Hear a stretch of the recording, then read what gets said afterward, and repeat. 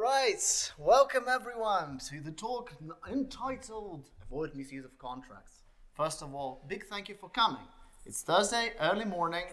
We had um, a happening, hap- that, the thing that happened between me submitting this talk and the actual conference. That was a WG21 meeting, the ISO CPP meeting in Cologne, where an interesting thing happened. The contracts were already in the language, they were taken away from us for good reasons, nonetheless. Uh, I was hoping that this talk would be way more useful, but you know what? It's still just as useful. Because the things that I'm going to be talking about have nothing to do with the specific way you'd use contract checks. It doesn't matter whether it's a language based facility or you might have your own library based facility. You can still make the same mistakes. So, before I actually start talking about these mistakes, I think it would be good if we were on the same page about the terminology. I'm going to use some of it, and you probably are already aware of it, but it's good to be all to make sure that we are on the same page. Don't be afraid; it's a big contract. This is how we describe a contract in our, on our team, typically uh, in, a, in a big comment, and this is a very familiar function, advance. A std advance that advances the iterator. And this contract has multiple things in it. First of all, the preconditions, the things that you have to satisfy to call the function. If you don't satisfy this, this, uh, these conditions, it's gonna mean bad things for you. So let's take a look.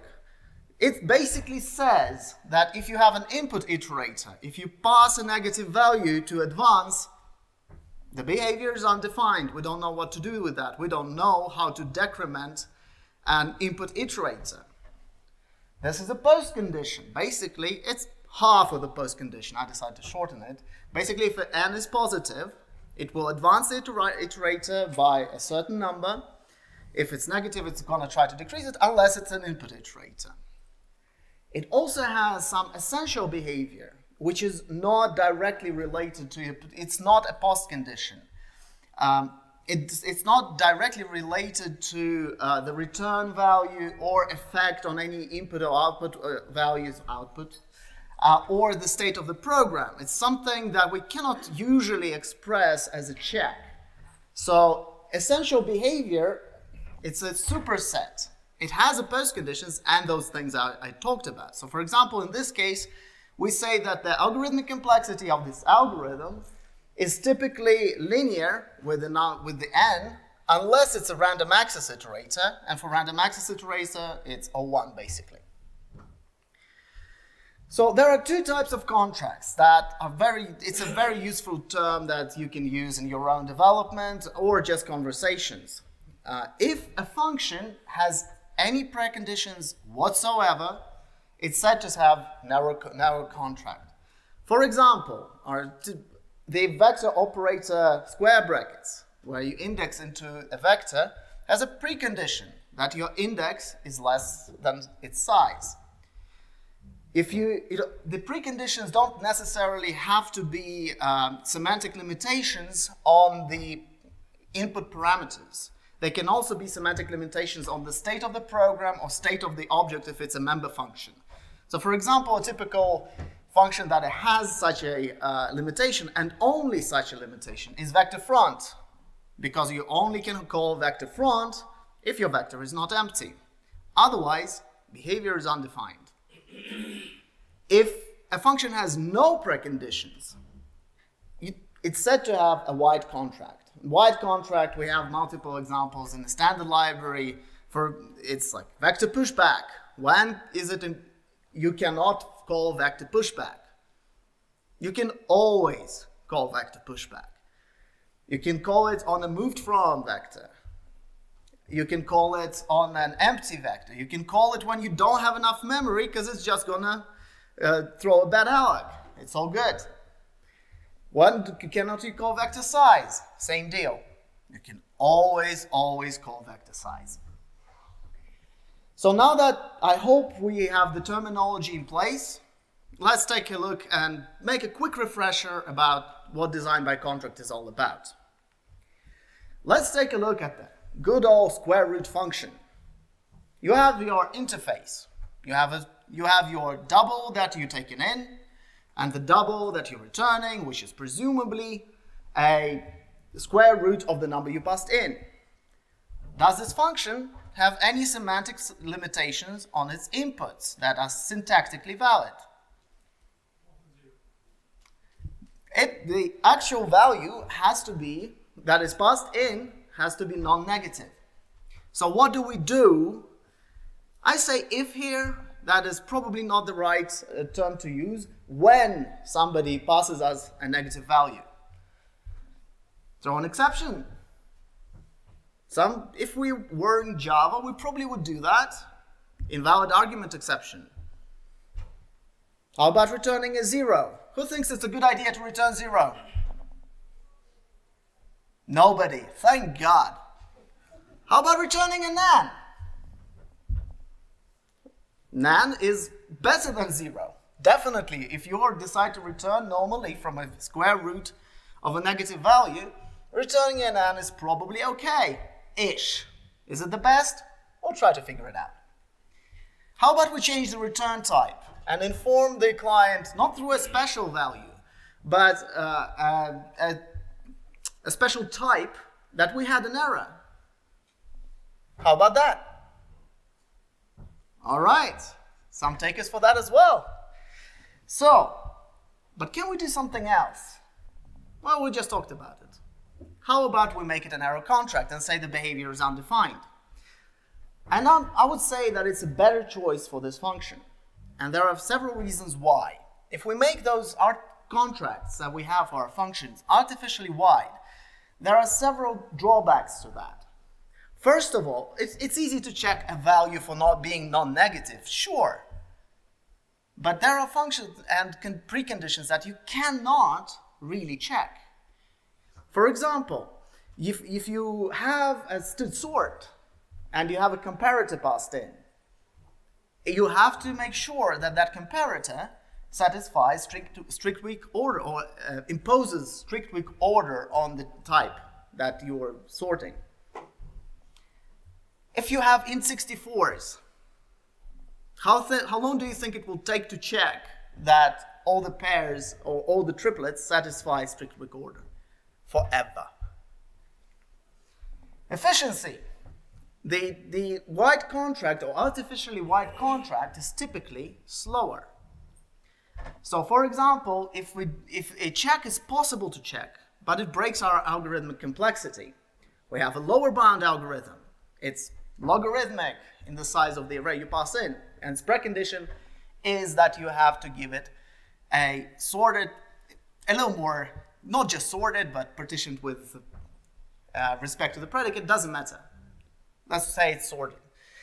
To check that the array is sorted is ON algorithm. So we break our algorithmic complexity. And even if we don't, we are kind of wasting effort with the, in that check uh, because we will, we will be checking something that might not be need checking. We might have uh, the data coming through a UI with a validate that makes sure that the array that is passed in um, sorted. So we'll be checking on every single call of a lower bound to that sort, that, to that lower bound algorithm. We'll be checking every single time that the array is sorted. It's a very big performance, performance hit. And we cannot ever remove those checks either because we, the contract is wide. We promise to our clients the behavior that we are giving them. Imagine trying to remove those checks. People already rely on that. And reliability argument goes into pretty much um, a different direction. so artificially wide contracts, for example, us returning a nan, which is reasonable in some sense of the word, but if we return a nan from square root of a negative value, how long do you think it will take that nan to be propagated to the place where it causes trouble. Especially like if it's a quiet nan. You have a quiet nan and just travels through your system until it gets to possibly the, your client and they see a nan instead of a value, that probably you probably don't want that. It's very rare occasion where seeing a nan on a actual person's screen is a good thing. Maintainability. We need to make sure that we're checking the checking the preconditions, and uh, possibly we are returning a status or returning a nan. And then we, first of all, we need to check that. We need to make sure that uh, this code is, is working. We need to test it in addition to our regular test. The clients of our function, wait, you have a return code. It's a good practice to check. So every time they call a square root, they would have to check the status. So our code is bigger and more complex. The client's code is bigger and more complex. More code runs slower, it's harder to analyze. It's not great. And finally, when we have made a decision on whether we change the return type to make a return code, or we decided that, you know, we'll return a nan. Try, imagine putting that into production to many, many users, and then deciding, hey, it was a bad idea. I want to change it back. I want to make it a narrow contract. That is hard. The other way around is much easier. If you have a narrow contract and you don't promise anything, then you can say, hey, well, we'll now return a nan. Well, the clients that never violated your preconditions, they don't care. They are really, really fine. So for our square root, I would suggest it's a good idea to just leave the behavior undefined for all the reasons that I said. And quoting John Lakos, design by contract in its essence is, if you give me valid inputs, I'll behave as advertised. Otherwise, all bets are off. And for a really in-depth analysis of design by contract and defensive programming, I really recommend John's talks. Uh, it's a two-part talk on CPPCon 2013, 14. So what do we do when somebody calls our function out of contract? Again, it's an if, it's a when. Let's take a look, like take for example, strlen. We decided to implement our own strlen. So if somebody passes us a null pointer, what will happen? Language undefined behavior. It's a very, very scary thing. Language, if you ever try to de debug an ODR violation or any other kind of uh, UB-based bug, you know it's hard. You know it's, it's hard to detect, it's hard to debug, and actually, it, it's so bad that it might lie dormant inside our program until we have a really important client hit an edge case, and then our company revenue goes down because that guy goes away and he was a big client. Our company reputation dies. And finally, our entire business is gone. well, can we do something about it? Yeah, well, we can check. We can always check, right? We decided, hey, whoa, whoa, whoa, whoa, whoa, whoa, whoa. This idea with the narrow contract is a horrible idea. I'm gonna check every time. I'm gonna be very, very sure that nobody ever violates any contract. Well, actually you cannot do that because there are things that you cannot check, but we'll make as much as we can. And then we put checks everywhere throughout our code base. And our our actually our program starts being really, really slow because our lower bound is ON. So our company revenue goes down because all the clients trickle out. Our company reputation is very, very damaged, and eventually our entire business goes, well, dead, out of business. Well, I'm exaggerating, of course, but you, it, you see that it's not an easy thing. But we, we can do better. We need to observe uh, that at the point where we enter the function, but we actually haven't hit the, the language undefined behavior, which often, more often than not, comes later into the function, in the function, we hit a point where we have a library undefined behavior. And why it's undefined? Well, we said it, said it is in our contract to our function. that you, for a pointer for a strlen has to be a valid pointer uh, to a null, null terminated string. And somebody calls us out of contract with a null pointer. So it's undefined behavior already. But it's not language undefined behavior. We are in defined state. It's all good. So we can, what we can do instead is check the preconditions. But do we always have to check? And do we have to check everything? Well, the thing is that undefined behavior is undefined. And it's up to us to check or not check, to check, to check the preconditions in some build modes and not in others. It's our decisions if we're a library developer, for example. So, in fact, we don't have to check everything because, again, it's impossible. And we don't have to check always because in some cases it's a wasted effort. So let's take a look. Like what, this is our strlen. How would we check, make a defensive check? Would we make it with an if? Any any people want to, to say it's an, just an if statement? No takers. Well, the reason why it's a bad idea is because you know it's an if you cannot elide it ever. It's there. So you have to wrap it up, and typically you would wrap it up into a macro. We could have an assert a good old C-style assert, which only is active uh, unless NDEBUG is defined.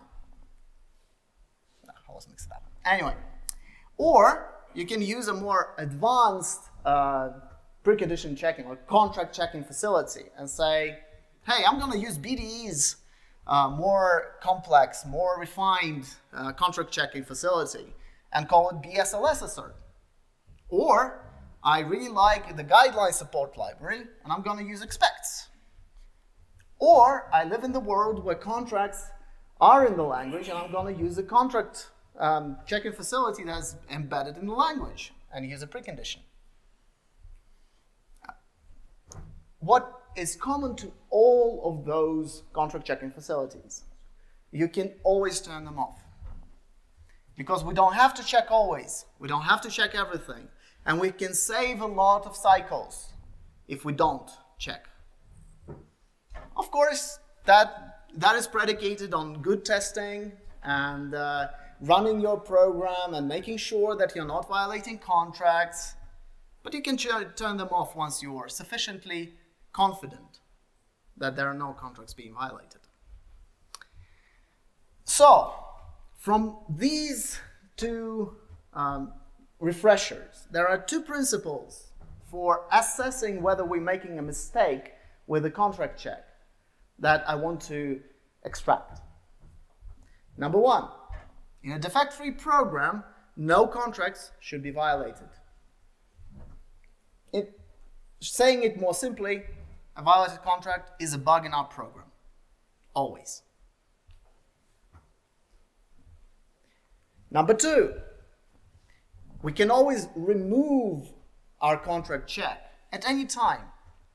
And it, if the program is correct, it's not going to affect its behavior or its essential behavior. It's going to be the same. Might be a little faster, would be nice. But essential behavior, like what this program is meant to do, doesn't change. Let's go to, to the first example where the, one of those principles is violated. Misusing contract checks for control flow. And I'm not saying control flow like terminating the program when the, when the uh, precondition is violated. I'm talking about control flow that cannot be removed. It's essential to the program. But before we get there, let's take, take a, a look and think, what does a contract check mean? So if we have a, our square root, we, we see a precondition, maybe some function we've never seen before, we see a precondition. Can we think about this, this function completely ignoring this precondition? Can we analyze the code? Yes, because we can always remove that precondition without affecting the essential behavior of the program. So when you're analyzing your code that has assertions and, and pre and post potentially, if you have them, you can always mentally remove them and make your job easier. Or you can parse through them and first and see, oh, oh, this is what the programmer wanted to be true in this program.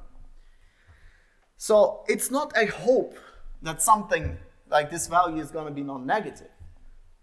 It's not a hope that it's non-negative, but we can recover. No, that is not what the contract check means. And it's not a statement of absolute truth. We cannot make, make sure that when writing a library function, that nobody ever will call us out of contract, because they will. What it is, is that a statement of what should be true in a correct program. And that all the benefits come from that. This is the statement of what should be true. So you can build it, put it into your mental model and not think that, hey, wait, wait, wait, wait. What if that precondition actually causes some control flow changes? That is why it's very valuable to make sure that there is no control, the control flow is not affected by precondition. But let's see how the code looks that might think differently. So let's say we have my int vector, and it has an access operator with an index, and we say, just return our data index. But we're smart. We're library developers. We put the preconditions in there, and we check them. But come an application developer who thinks, hey, I can look inside the implementation. I can see the asserts are there. So I'm gonna have my data class that will have a get value that returns a, a basically a status, an optional. And I'm gonna put a try catch block around this access because I don't want to check myself. The checks are already there. And then I'm going to set the, the violation handler to throw an exception. So the reason why it's bad, first of all, the assertions are actually implementation details. They are not promised. They are not described in the contract of a function as we will do this and that. They can be removed.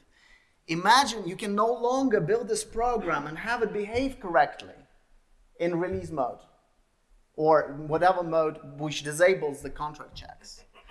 That you can no longer look at the at this code and see, okay, I, I'm, I'm just going to ignore the, the assertions in my mental model because they are essential to the program. So they, it violates the second principle. Removing these contract checks will physically affect the, the essential behavior of the program probably to the point of making it language and undefined behavior. Let's take a look at different side effects in predicates, which can lead to a similar, similar problems. So let's say we have a set of integers and we say that if we fail, if we, at some point in the program, we will be inserting a value into that set of integers. And it, we it's a bug if that value is already there. Is this a good way of checking it? Who thinks it's a good way of checking it? You guys are so smart, but that's what you get for presenting at CPPCon. It's a bad way of checking it just because if you, it has a side effect that affects essential behavior of the program. It actually inserts the value into the set. So if you remove that, that value will no longer be inserted. This is a better way.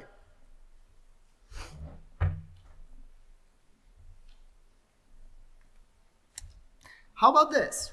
We have our encrypted store, and we have a free function, is corrupted, that checks if the value, like an integer, is co corrupted. And we have a function that says, okay, let's corrupt the value at. And you can do it only once. So the precondition that we is that it's not corrupted yet. To me, sounds reasonable. Is it a, a good way to check it? Depends on the function. Depends on the function. That's the one. I'm was looking for. The subscript operator in a map has this wonderful behavior that it will insert a value into the map if it's not already present. So that's, we need to refine our contract and, and make sure that we are saying, okay, if the value is not in the map, we either define the behavior to be something and then not put into a contract check-in statement in contract check, or we make it undefined, which I think it would be a better way, and then check it before we access the actual map. Not all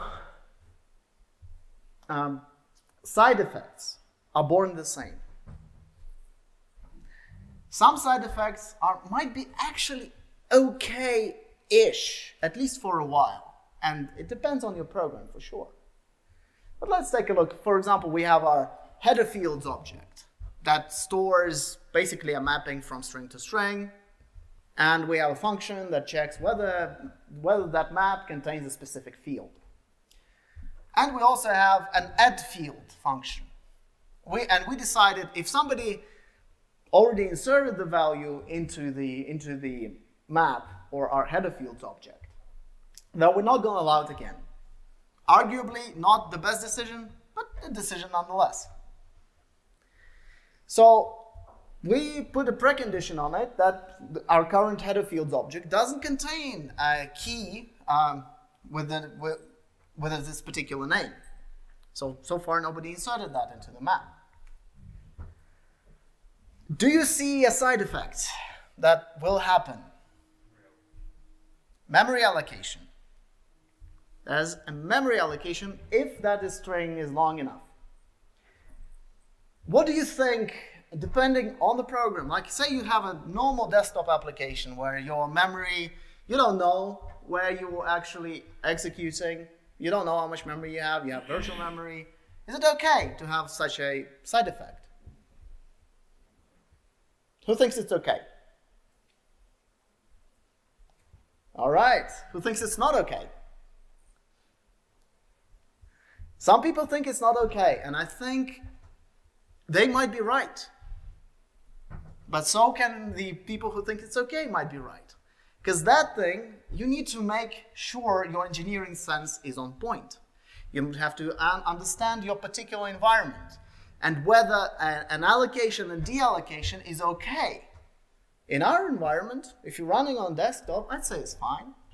But if you're, if you're memory limited, oh, you gotta make sure that your memory is controlled. And it's the same in your production runs, memory usage. In production runs versus debug runs. Yeah?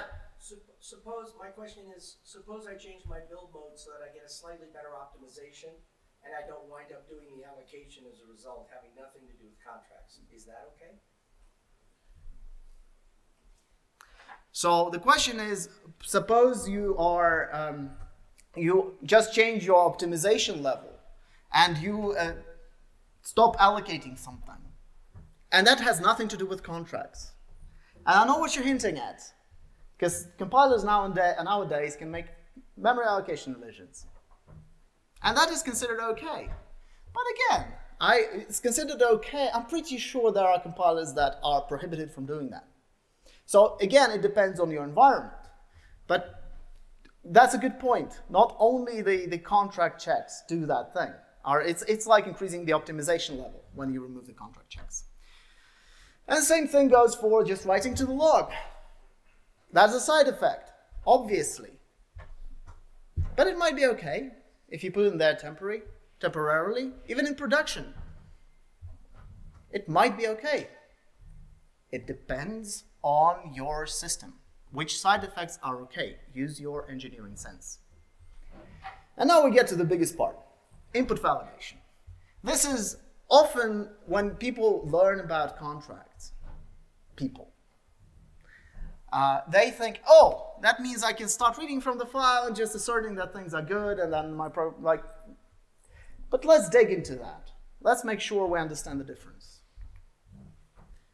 So first of all, we need to say what's an input. Well, an input is pretty much any data coming from untrusted sources. How do you like that definition? I think it's a bad definition in a way. You know why? Because we defined one term through another term that we haven't defined yet. So it's like, okay, an untrusted source is where we get our input.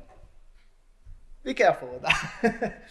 uh, well, I call it also an application envelope. I'm pretty sure I, am not the uh, person who came up with this term, and maybe there's another term. And please come by and let me know after the talk if I just said something which already has a name.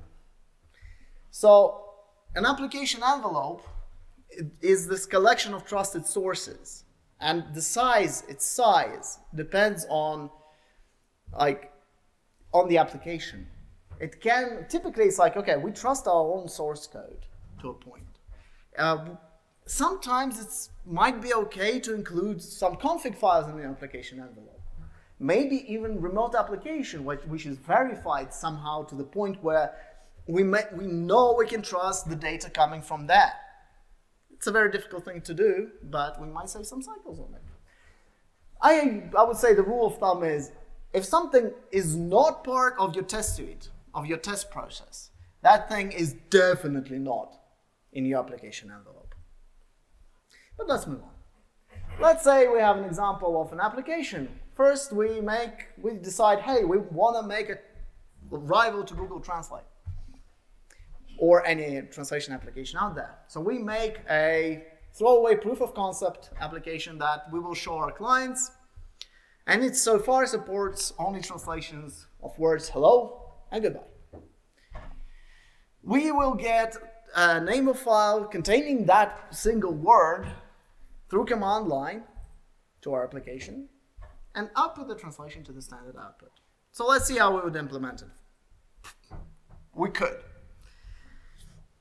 We define an enum that, have, that shows us the type of greeting and we make a function called load greeting that takes a file name, it opens the file name, opens the file, reads the string from it, and if it's the string is hello, then we return the enumeration hello, otherwise we return the enumeration goodbye.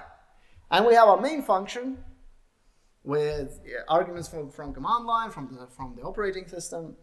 We load the greeting from the second argument, because the first argument is our uh, executable. And if the greeting is hello, we output bonjour, otherwise we output au revoir. So, let's look at some assertions.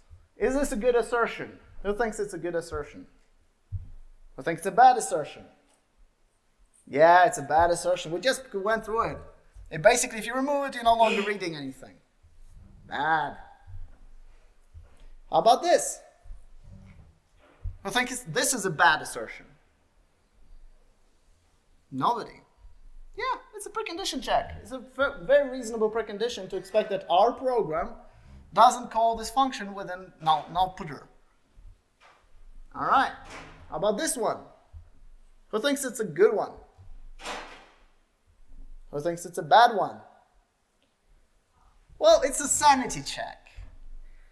If we remove that from our program, nothing will actually change. And in a correct program, it will actually not be violated. So our principles are fine. So it's okay. It's not the best. It's okay. How about these four? All of them are pretty much the same, so I didn't want to go into detail of how they are. What about these four? Good? Bad? Most people say bad. I say, in this case, that might be okay. But they stop being okay because, you know, it's a throwaway application. It's a proof of concept. I will be the only person running that application. I'm to make double sure that it's the right one. I don't want to write code validation at this point of application uh, level. I'm to show it and, I will be the one at the computer. So it's all going to be fine. It's not going to run in, in So it's okay, but as long as we remove ourselves from our application envelope, somebody else is running the program. things change. Not all things change. The precondition violation check is still good. Sanity check is still okay. But these, uh, as most of you said, become horrible. Somebody else is running the application. Somebody else is applying a file which might contain no words, might be unreadable, might, might have, not have the access rights. It might be might contain a word that we do not expect. If we build in debug mode, we'll crash. If we build in release mode, yeah, we'll probably crash as well, but with a segfault instead of assertion violation. Do we want the, our people who use our program to, to have that? No. No, no, no, no. This is input validation. Those people, those files, those command line arguments are outside of our application envelope. We have to check them. We have to check them regardless of which build mode we're in. And assertions are just not the tool for the job. But we did the right thing. We replaced this with input validation. And our application had tremendous success. So we, we did the right thing. Our application had absolutely, like, people loved it. People loved it so much they wanted to have it, access to it through uh, web, web, through web. They wanted to be able to enter the word into their uh, web browser and get the translation. Is it bonjour? Or is it au revoir? Or is it something else? We are now better programmers. We know that we can load a whole dictionary from file and put it into a map and be able to translate more than two words. So here's our new application. We have a load dictionary function, very straightforward, and we have a main that is the core of our service. And we also, so very modern people as well, we'll package it into a container with all the data that thing needs, and we're gonna run a service and people will have access to it. Maybe we'll have, we'll have a page with some JavaScript which will access our service. All good. So let's see. Let's go through our assertions that might we might want to put in this application and think whether it's good or not. How about this? Who thinks it's a bad assertion? Kind of hinting at it. Yes. Again, people people in this room are very smart, so obviously that's pretty much the same example I had in the side effects one. No, let's let's put it away for, for a moment. Precondition check. Not gonna go through that again. It's okay. How about these two? Who thinks it's a good idea? Some people think it's a good idea. And I think it's fine. Why? Because it's a containerized service. We test it as a container. We package everything inside and we set up the command line for our container, and if and we then test it, this whole thing. It might be considered a part of our application envelope. Again, this is this depends on your reliability requirements. It depends on your application. But there's nothing inherently wrong in this particular scenario uh, to, to just, you know, say that this cannot happen because of the way that we test our application. Yeah? I, I think it also depends on who will be looking at the messages from your code. If it's a programmer, then it's okay to look at argc equals equals to. If it's if it's a person who doesn't know what argc is. So the comment was that it also depends what if the if, if this is okay also depends on who will be looking at your um, uh, error, messages. And if it's obviously if it's a normal person, they will not be uh, will not understand what argc is. But this kind, kind of brings me back to what Herb was also telling. The assertion failures are, should be actually, it's an error reported to the programmer. So this also fits into, like, this is our con containerized service. So we'll be looking at our problems. We're not going to show it to the, to the people when we, after we deploy the service.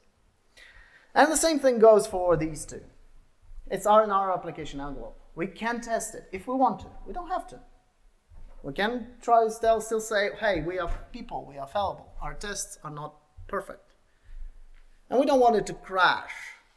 Maybe, or especially in production, when these checks will be disabled, we might actually want to remind ourselves, hey, wait, your config file has changed. Did you test it? Oh, you tested it, but your tests are not great.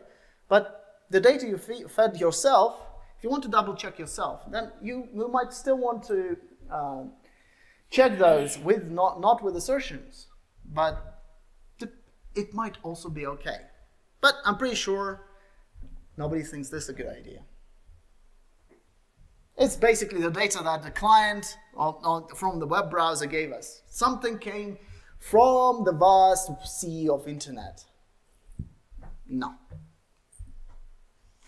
And there's one last thing I wanted to talk about. So suppose our application became so amazing, so beautiful, so great, that we included it into our I know high performance trading system.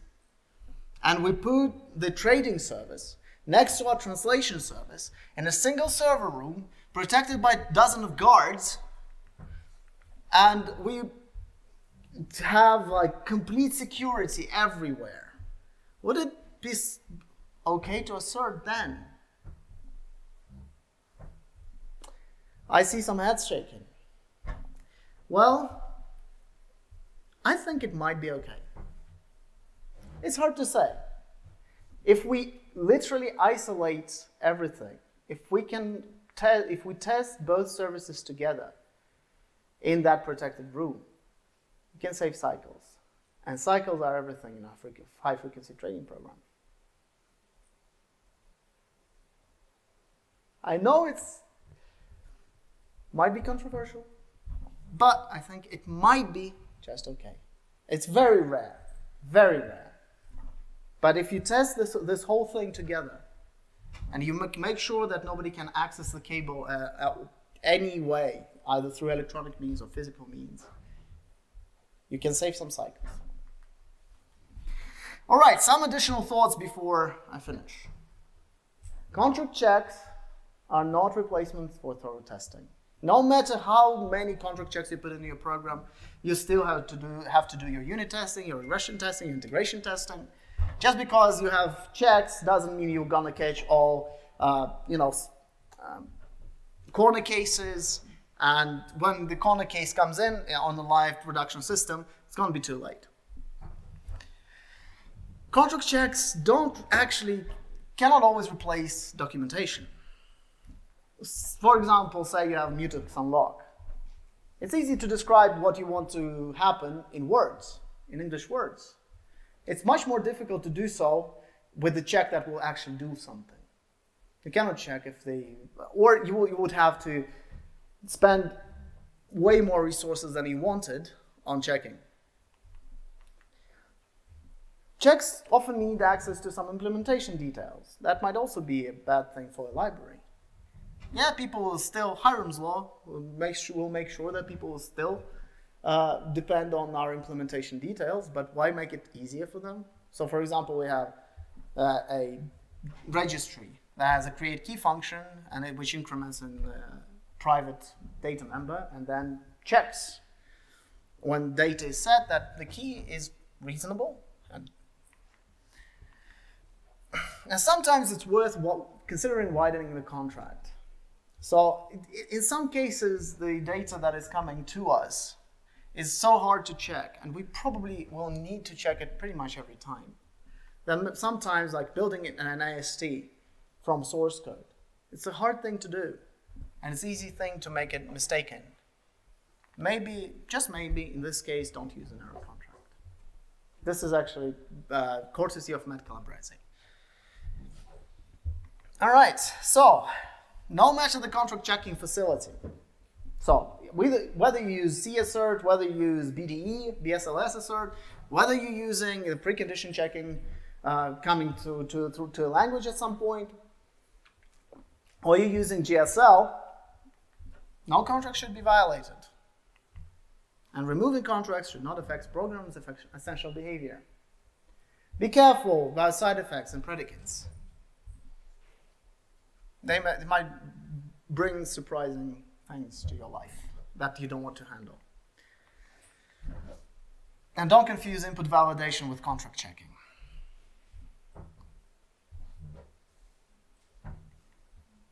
But you can always use your engineering sense. You can always assess whether specific side effects are okay in your system, at least temporarily.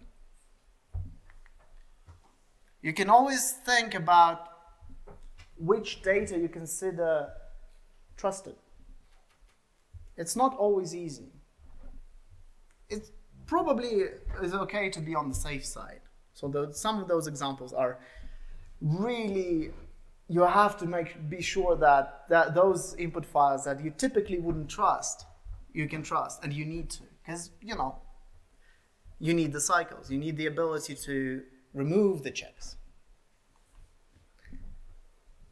So yeah, there, there we go. Thank you.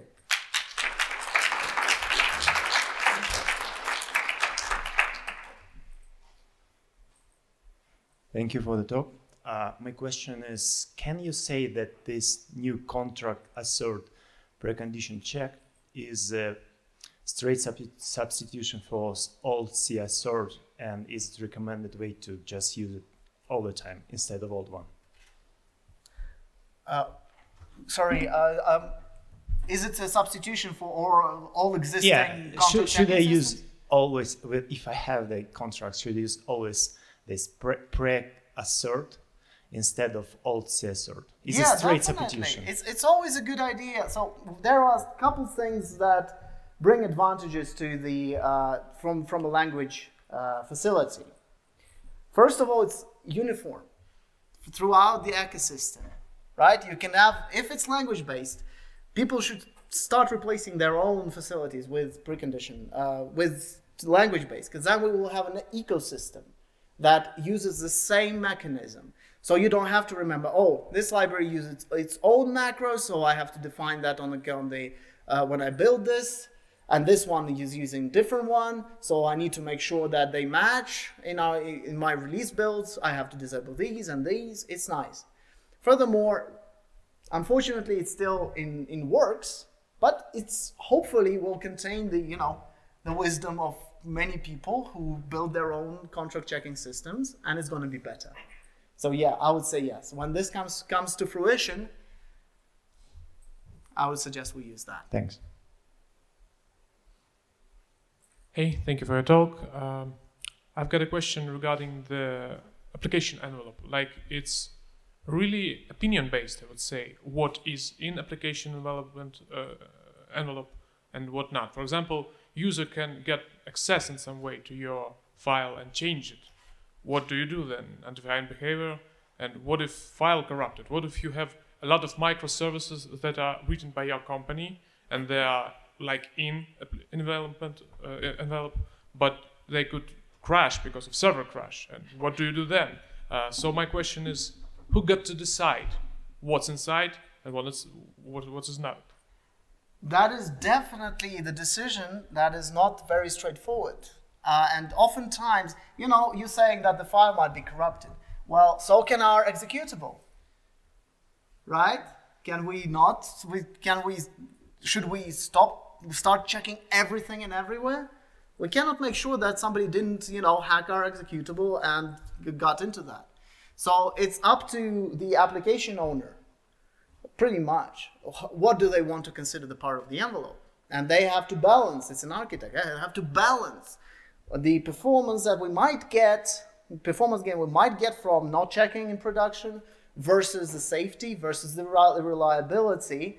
Um, so it's it's a it's a difficult question, and it's up to the company, the programmers, to decide that. Thank you.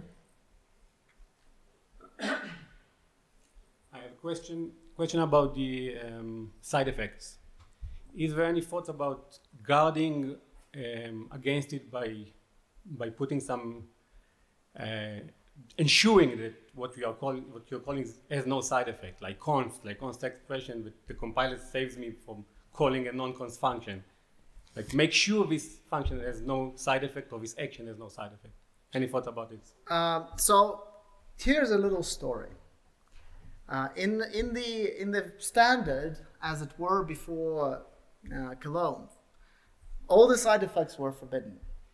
It's always up to the compiler to check, and the compiler can make much, much better job in, in checking. But even that cannot check everything.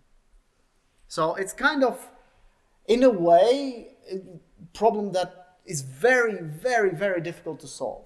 Furthermore, you might want some side effects to, you know, you will, you might want to be able to print in your, uh, like in your chat, and you don't want to think about, okay, if I put a print statement here, what would happen in the uh, pre, pre-Cologne uh, co contracts in the language, it would be undefined behavior. That's very, very, you know, heavy-handed.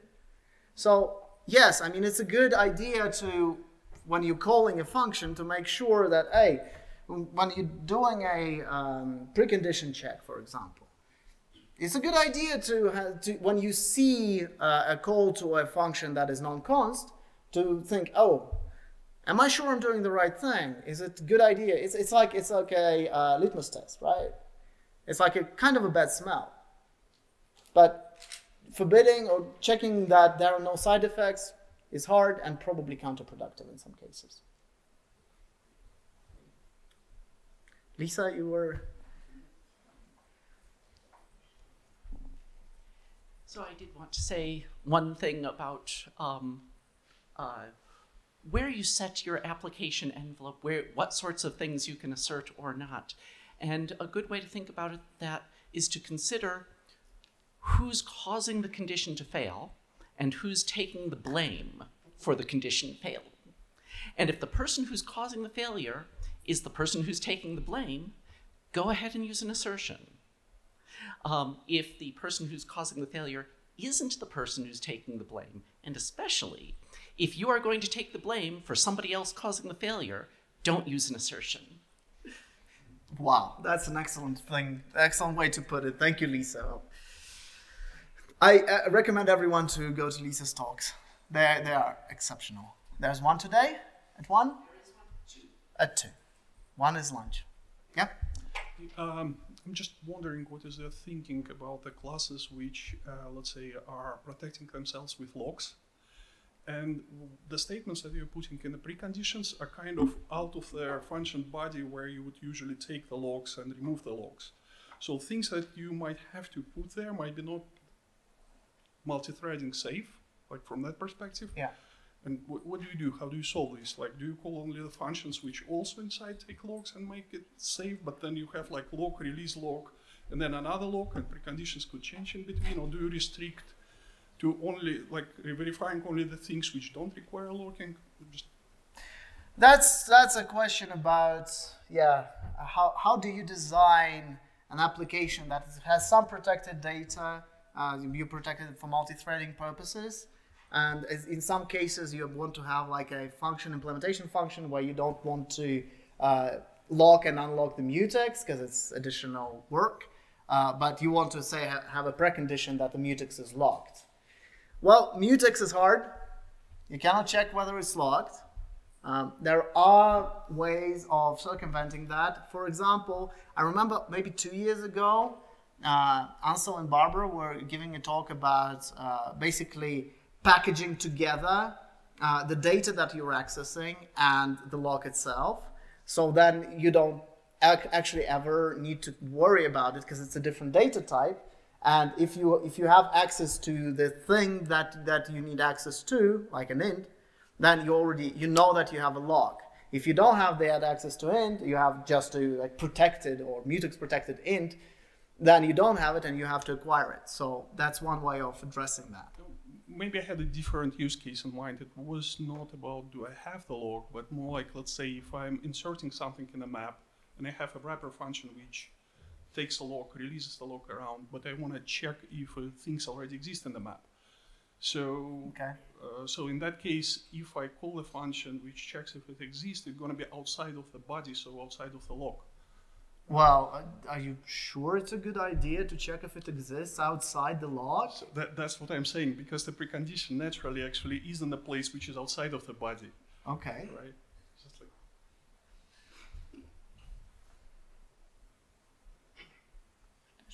Oh, I see what you're saying. Fine, like the precondition, like as it is in the pre-statement.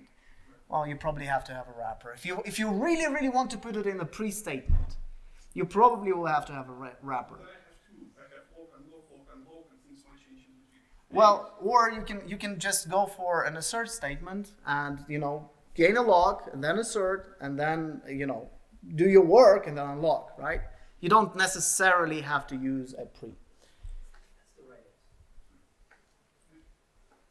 Uh, back to this application envelope for a, for a second. Uh, would you consider thinking about uh, what to include there and what not to include there? Uh, thinking about it as like an optimization step that uh, you measure and then you decide whether it's worth to, to, include something into the application envelope because we all know that it, those things bring a risk with them once, once we included it there.